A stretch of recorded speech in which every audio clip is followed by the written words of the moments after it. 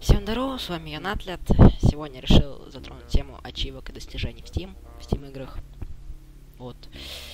Если вам будет не лень и жалко поставить лайк, подписаться на канал и поставить колокольчик, то можете смело это делать. Если вам лень, жалко меня, то можете это не делать.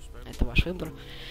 Так вот, э, это работает именно в Steam. Мне кажется, вы шарите сами не в Epic Games, не в Wargaming, каком-нибудь, не в Battle.net, только в Steam. Вот. Я вам ставлю Google Диск ссыл, э, на ссылке описания. Вот. Э, и вот вы скачаете, откроете, разархивируете, как вам удобно. Я вот так вот просто открыл через WinRAR. Вот. Здесь будет несколько файликов. Открывается сам пикер, самый последний или самый первый, без разницы. Вот. Сейчас я вам кратко расскажу. Здесь вот появляется все, что у вас установлено на компьютере, и все, что не установлено. Но не обращайте внимания на то, что не хотите. Я, например, открою с, э, сейчас что-нибудь. Just Cause.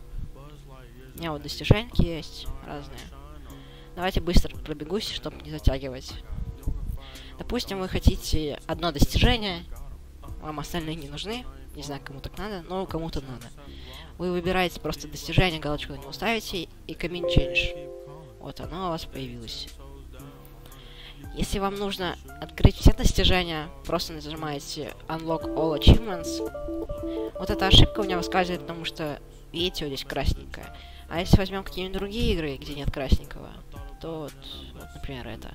Нажмем еще раз и Commit Change. Откроются все достижения, которые есть в этом приложении, в игре, без разницы.